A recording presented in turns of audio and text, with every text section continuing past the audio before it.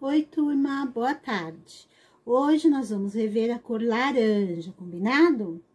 Então, eu pensei em duas atividades. A primeira é o seguinte, vamos, vocês vão pegar uma folha de sulfite, pegar um círculo, colocar sobre ela e contornar com lápis preto de lição, combinado? Depois que vocês fizerem isso, vocês vão pintar. Que cor é essa? Laranja. Vocês vão pintar com giz de cera laranja, olha como eu pintei. Não deixei vazar o espaço do desenho, respeitei os, os espaços do desenho e ainda fiz o cabinho dela de verde, ok? Então, façam com capricho essa laranja.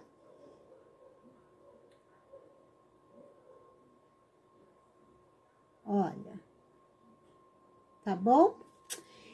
E aí, tem outra atividade no livro, olha, que é essa, sobre essa história aqui que vocês adoram. Que diz assim, era uma tarde de sol. Os três porquinhos foram passear na floresta e recolher material para a construção da casa deles. Aí tem uma cantiguinha assim, o meu chapéu tem três pontas, três pontas o meu chapéu. Se não tivesse três pontas, não seria o meu chapéu.